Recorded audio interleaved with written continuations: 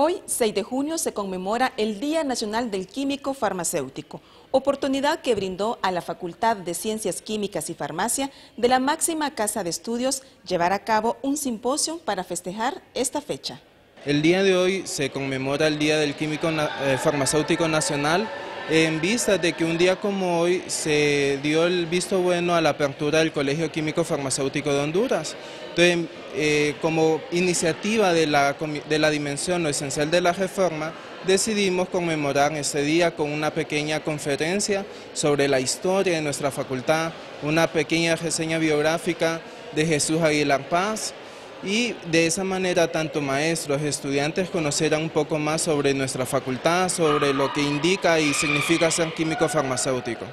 No, la verdad que muy contento, ¿verdad? Por el día, eh, estamos así a unos pocos pasos de graduarnos y todo eso, eh, ya un poco nos sentimos contentos desde antes y ya imagino cuando ya puedo decir que tengo mi título como doctor en química y farmacia, creo que va a ser un, momento importante y un momento más feliz en mi vida.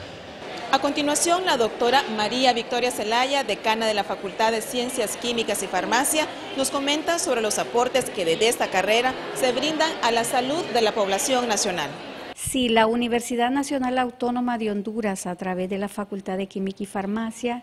es responsable de la formación del profesional de la química y farmacia que eh, una vez obteniendo su título se desempeña en los diferentes ámbitos a nivel del país para poder eh, desempeñarse tanto a nivel de gobierno y a nivel privado en lo que es relacionado a la formación que, recibe de esta universidad. Así nosotros eh, tenemos eh, profesionales de la química y farmacia en las farmacias de hospitales, en las farmacias comunitarias, en la industria farmacéutica, en el tema de investigación, en la docencia, en todo lo que es en la parte de